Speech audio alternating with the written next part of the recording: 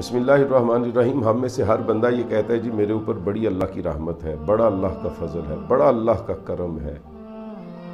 तो सूफिया फरमाते हैं कि इसकी एक निशानी है। हर साहिब सरवत के ऊपर अल्लाह का फजल करम नहीं माना जा सकता। हर मालदार, दौलतमंद, सरमायादार, साहिब हैसियत, साहिब जायदाद के बारे में ये नहीं कहा जा सकता कि उसके ऊपर अल्लाह का बड़ा करम है, फजल है, राहमत है।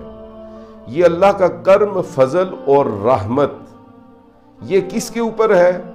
सूफियाई किराम फरमाते हैं, उसकी एक अलामत है कि अल्लाह का फजल, करम और रहमत सिर्फ़ उसके ऊपर होती है, उसके ऊपर समझनी चाहिए। जिसे अल्लाह ने जो चीज़ें दी हैं, वो उन चीज़ों के ज़रिए मखलूक को तकलीफ़ ना पहुँचाए। हर बंदा अपने ज़ाती घर का मालिक हो सकता है, मगर हम ये नहीं कह सकते कि हर एक का घर, हाजा मिन फजली रब्बी, अल्लाह का फजलो करम है।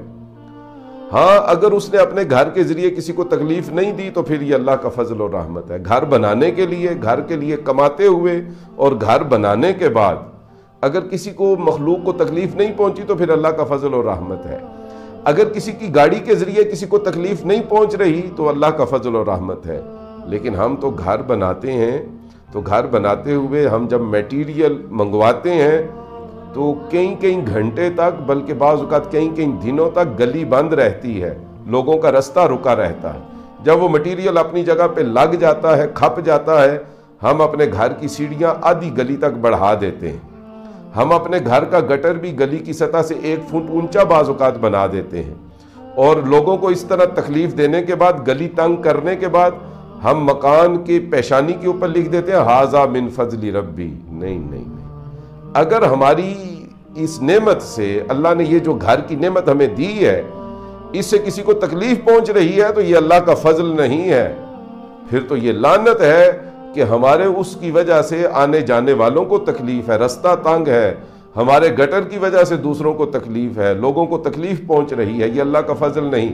अगर हम अपनी गाड़ी इस अंदाज में पार्क करते हैं कि रास्ता तंग हो गया है, राहगीरों को मुश्किल हो रही हैं, फिर वो गाड़ी अल्लाह का फजल और रहमत नहीं है, क्योंकि हमने उसको मखलूक को अजाब, तकलीफ़ देने का ज़रिया बना लिया है। हम उसके ज़रिए मखलूक को अजियत देते हैं और अल्लाह का जब फजल नाजल होता है, फिर मखलूक को अजियत नहीं उन्हें आसानी पहुँचती है।